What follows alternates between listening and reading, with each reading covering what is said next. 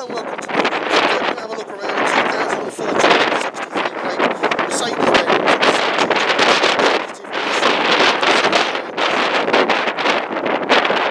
Sorry about the, it's a bit blustery today so I'll try and do the best I can with the sunshine and wind. It's in lovely, lovely condition. Out. You it's the video, so we'll have a close up on the wheels just the wheels.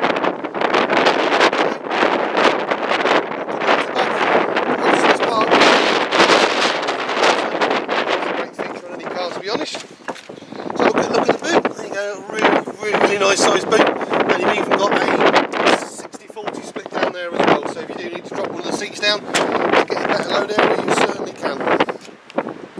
So let's come around this side. This particular car is a two-owner car with a full service history as well. Just come around so you can see all the panels. And believe it or not, this car £20 to tax. All this car for £20 to tax. Unbelievable. Well, there we go. Let's come back round. We'll see the front there as well. What we'll do is we'll have a quick look inside as well. So as you can see, the bodywork's in lovely, lovely condition.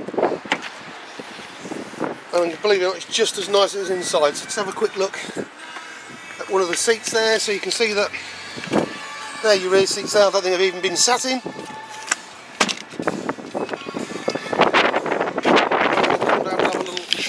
Jump in the car now as well. As you can see there, 59,535 miles. As you see, it's in beautiful condition here as well. It's just one of them cars that's really, really been looked after.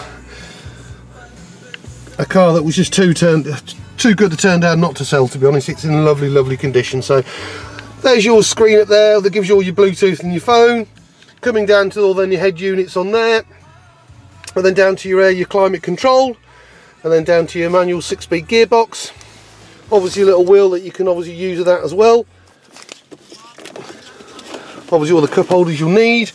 And then coming out to a multifunction wheel so obviously all your phone kit and your voice activation is all on this side and then just to move through your cursors all on that side. As you can see on there automatic lights.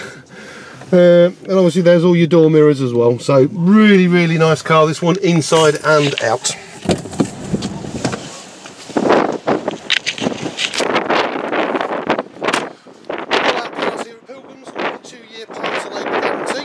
That's unlimited miles and unlimited that's all for